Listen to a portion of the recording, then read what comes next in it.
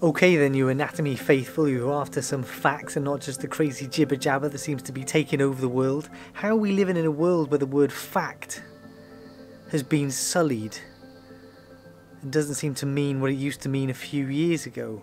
Anyway, ophthalmic artery. There's a lot of anatomy in the eye. We're doing an eye week, so I'm still locked at home because of the COVID isolation, right? So I don't know how I'm gonna illustrate this. Normally it would be skulls and pipe cleaners and that sort of thing. Today I'm gonna have to use my imagination and whatever images I can find, and I don't know. I'll work it out. Um, but we're doing uh, the eye, and there's a little bit of gap in the teaching that I'm doing for the online teaching for the students that actually can't go to the university because none of us are allowed in there. Blah, blah, blah. Ophthalmic artery. So we're going to look at the ophthalmic artery, where it comes from, where it goes to. It has a whole bunch of branches that you don't need to know in massive detail generally, but some of them are shockingly important.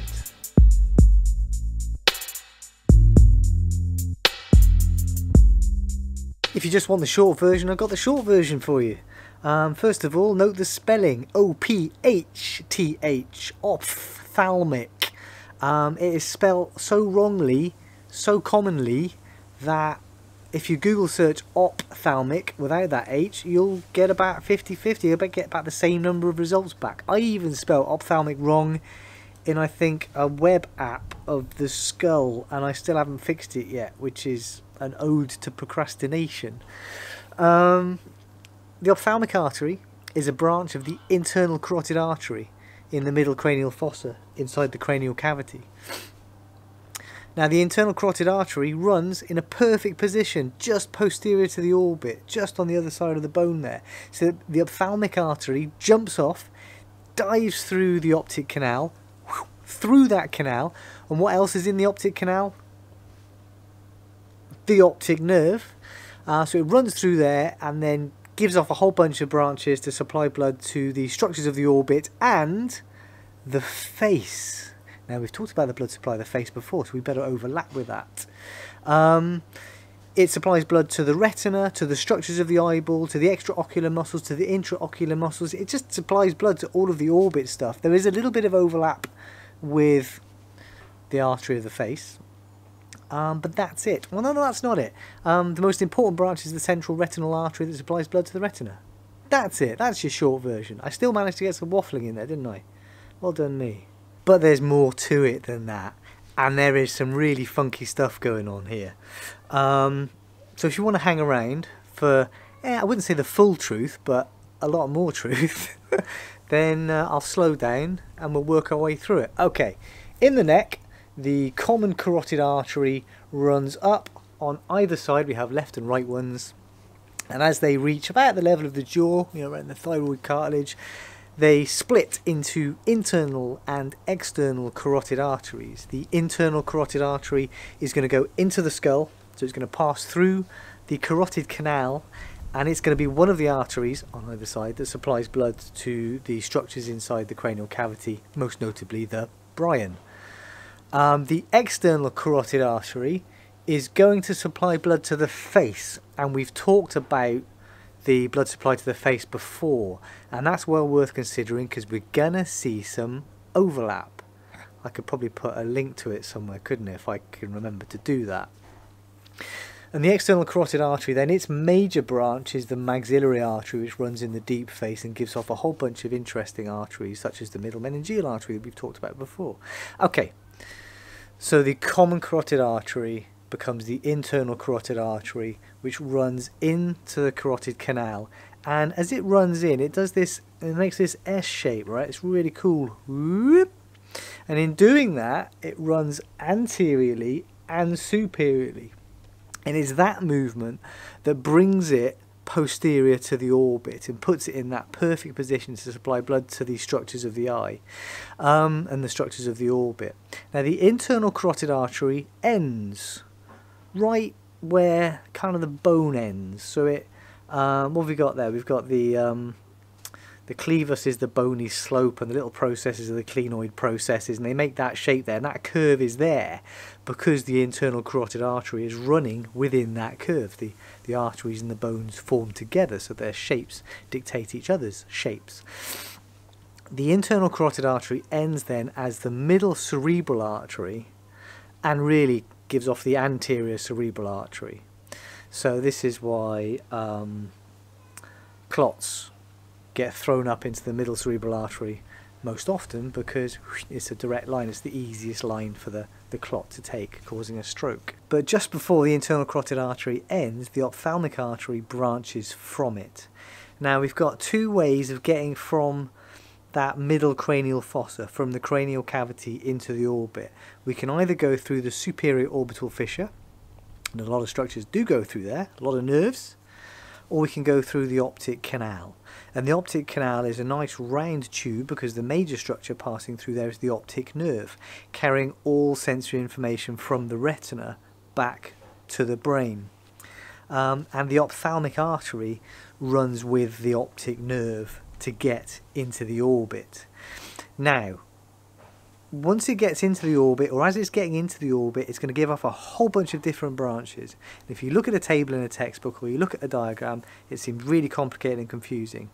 But really, there are just a handful of, well, there's probably a couple of concepts you really need to know, and then just a handful of ideas about the other branches. So if we go straight in with the headline news, the central retinal artery, or the central artery of the retina, the central retinal artery is is one of the first branches that branches from the ophthalmic artery.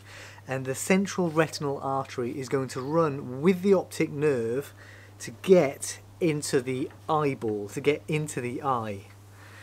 Um, and so if you're looking at I don't, I don't think to be able to get an image of this but if you're looking at the retina and you see the optic disc so where the uh, where the optic nerve comes in and you see those blood vessels branching from it. That's the central retinal artery entering the eye and spreading out.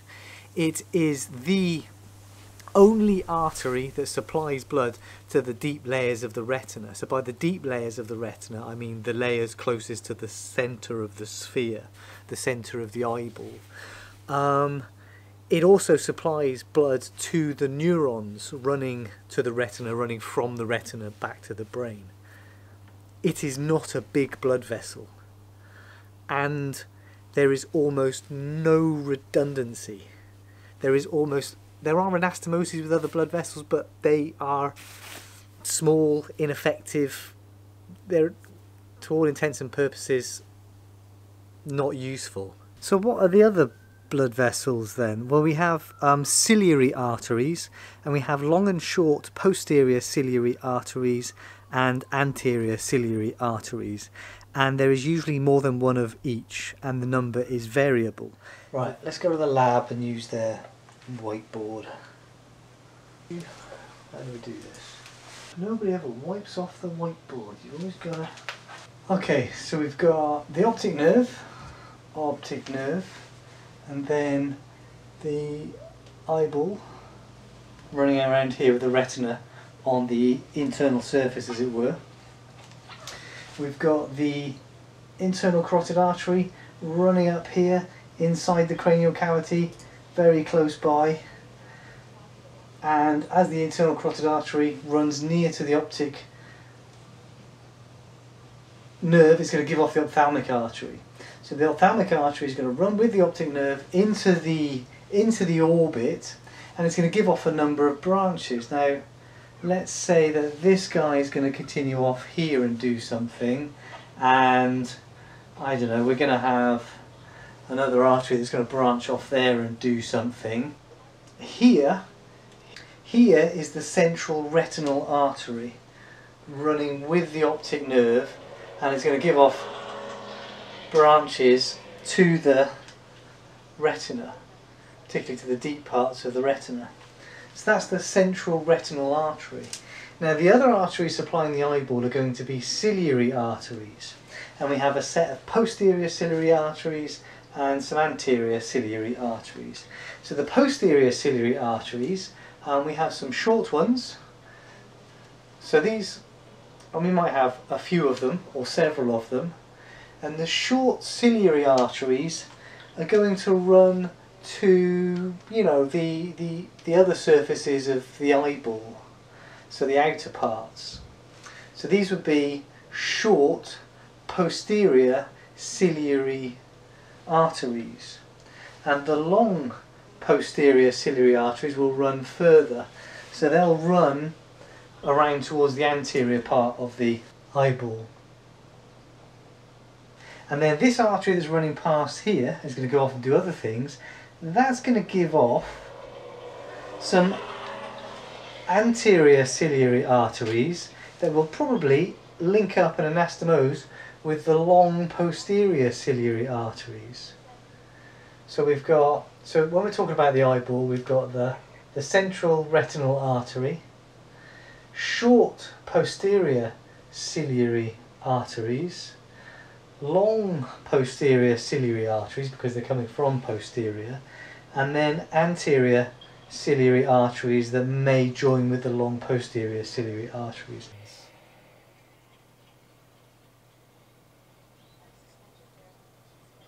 But these ciliary arteries are supplying blood to the structures of the eyeball. So if you if you look at the various eyeball videos that I've done, so we're talking about you know the uh, the other layers of the retina, um, we're talking about the sclera, you know, the connective tissues of the eyeball. We're talking about the little muscles, the intraocular muscles. We're talking about all those structures of the eyeball receive little branches from those various long and short posterior ciliary arteries and anterior ciliary arteries. Bit of Latin, uh, cilia means uh, eyelashes, Latin. That's also all these ciliary things we, we talk about. Eyelashes, eyes. Mm. Now some of those posterior ciliary arteries will supply blood to other layers of the retina and are likely to anastomose with the central retinal artery. But if the central retinal artery becomes occluded, they seem to have almost no effect, which is why I say that the central retinal artery has no redundancy. It has no backup. It's this little blood vessel and it's the only little blood vessel that can do what it does. And we do see another other anastomoses and um, other links between blood vessels in the body, which also, you know, seem like a good idea, but don't function when they really need to. So, you know. So what happens if the central retinal artery is occluded? Um, usually sudden, painless, loss of vision in one eye, in that eye because it's a blood vessel thing, right? So it's just going to affect that side. Um, it is an ophthalmic emergency. Um, if that central retinal artery is occluded, there can be irreversible damage of the neural tissues in minutes, you know, tens of minutes. And it depends on a number of biological factors, but it also depends on whether it's a, a complete occlusion or a partial occlusion. The most common cause of um, occlusion is atherosclerosis in the probably in the internal carotid artery, maybe from the common carotid artery. So throwing off, you know, um, clots, lumps, uh, masses that then pass into the central retinal artery and occlude it. I said it's not a big artery. Um, so cardiovascular health is important for your eyes for this reason. Okay, other branches. Right, well, medially, what have we got medially? We've got the ethmoid bone. So there are anterior and posterior ethmoidal arteries, which kind of run towards the air sacs, the sinuses of the ethmoid bone. There is the nose. so we've got the, uh, the, the dorsal nasal artery, which is, which is going to run, it's actually going to supply kind of skin to the, the, the, the region of the nose around here. Oh, do you remember when we were looking at the arteries of the face, how we got up here and we said that there was a link to other blood vessels? That's where the link is. Um, there is the, okay, so there are supraorbital and supratrochlear arteries. So um, the trochlea, what are we talking about there? The superior oblique muscle runs with that pulley, doesn't it? It has a tendinous pulley, the trochlea.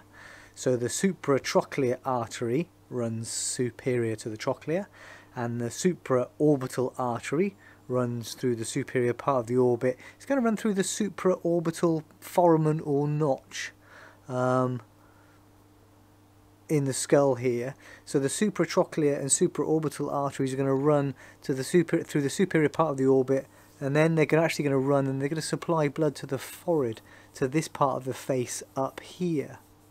And then over here, we've got uh, the lacrimal artery. So the lacrimal gland is up here, and tears kind of run across the eye like this. So the lacrimal artery is going to run laterally, and it's going to run out to supply blood to structures like the lacrimal gland, the conjunctiva, the uh, you know the upper eyelid, and the skin around here, and that sort of thing.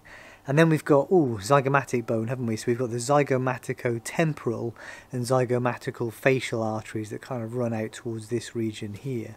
So the blood vessels, oh, and of course, there are, as those arteries run through the orbit, they're going to give off other branches to the various extraocular muscles within the orbit, the muscles that move the eyes around, right? So this artery here then is going to be the lacrimal artery.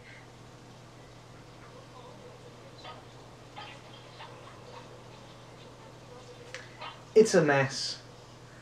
It would be a similar mess if I used an actual whiteboard, except the lighting would probably be worse. The ophthalmic artery is going to supply blood to the eyeball, to the structures of the orbit, and to the skin of the forehead and the, the skin and structures around the eye. Okay, that's the normal situation. That's that's kind of the layout that most people have, and there's a bit of a variability there and a bit of variety. Should we move on to the mad stuff? right. Now, I said that the external carotid artery gives off the maxillary artery, which is the artery of the deep face, and one of the branches of the maxillary artery is the middle meningeal artery, which comes up um, time and time again. Now, the middle meningeal artery runs through foramen spinosum, little little hole in the cranial floor, to get inside the cranial cavity. Now the middle meningeal artery is going to supply blood to the, the meninges, the dura mater, but also to the bone, right? Um, but cons what, what's that bird got in his... Jackdaws are nesting.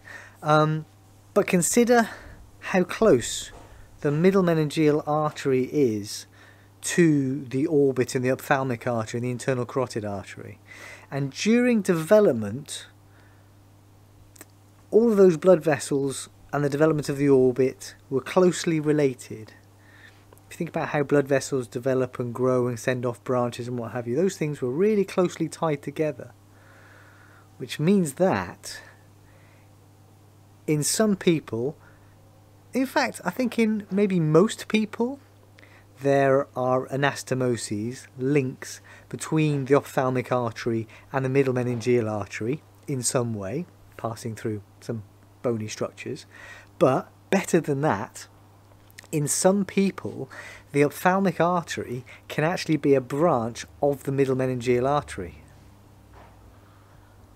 Which would mean that the ophthalmic artery and the entire blood supply to the eye and the orbit actually comes from the external carotid artery.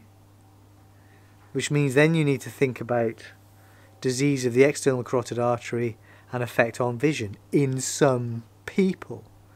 And in some cases then, the middle meningeal artery might be a branch of the ophthalmic artery, or there might be some other strange branching things. You know, the, um, the ophthalmic artery might branch from other parts of the internal carotid artery. As I said, it continues to become the middle cerebral artery and anterior cerebral arteries and things like that. What I'm saying is, this is why we, we word anatomy spotter questions really carefully.